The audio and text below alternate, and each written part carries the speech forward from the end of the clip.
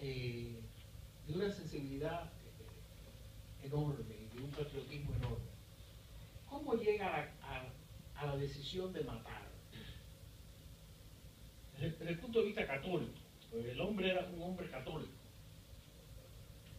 Eh, nunca hubo alguna discusión acerca de alguna otra manera, como por ejemplo de secuestrar algo otro que matar, se había decidido era matar a un hombre ese 13 de, marzo.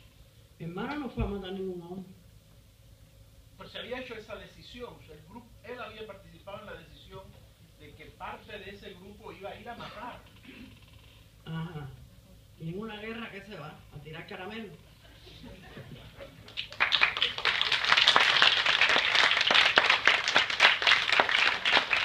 Y desde el punto de vista cristiano, quiero que usted sepa que mi hermano estuvo escondido en un convento franciscano.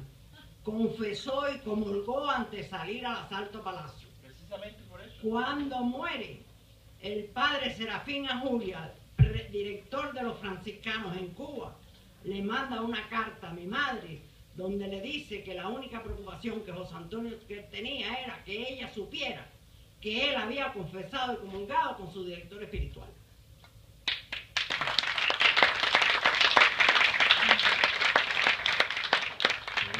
Yo, yo agregaría que eh, mi interpretación de la estrategia del directorio era salvar vidas matando a Batista. O sea, iban a prevenir lo que iba a ser eh, lo, que, lo que se dio al final, o sea, porque no lo lograron.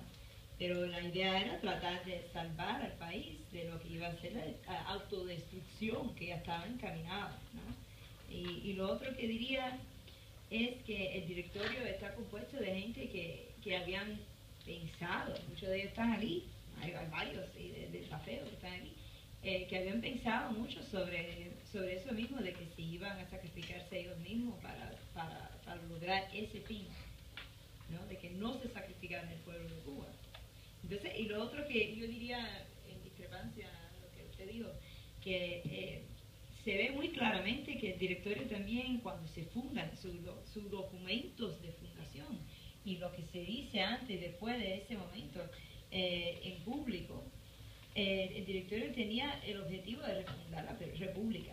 Ellos no tenían solamente la idea de, que iban a, matar a Batista, derrocar a Batista y después no hacer nada, no, ellos, la idea era renacer la república, porque la república hacía falta renacer, o sea, entonces no es solamente el 26 de julio tenían esa idea de que iban a hacer una revolución. Esta gente sí tenía una idea de que iban a hacer una revolución bien profunda, no del mismo tipo, anticomunista, un tercer camino, eh, que es lo que mucha gente, como mismo Figueres, querían lograr en América Latina, de, tratar de que no eh, tomar el poder el comunismo y no se usar ese modelo, pero a la vez no continuar con un sistema capitalista que se había creado a base de dictaduras en América Latina que colaboraban con corporaciones extranjeras para prevenir el, eh, desarrollo de, lo que es la capital, eh, el capital eh, nacional. Entonces, bueno, eso es lo que agregaría, porque esto es una organización que tiene ideología y, tiene estrategias de prevención. Sí, yo solo quiero aclarar que yo no niego esa es decir, eh, eh, eh, es un asunto que está, que es parte de la cultura política en Cuba en ese momento.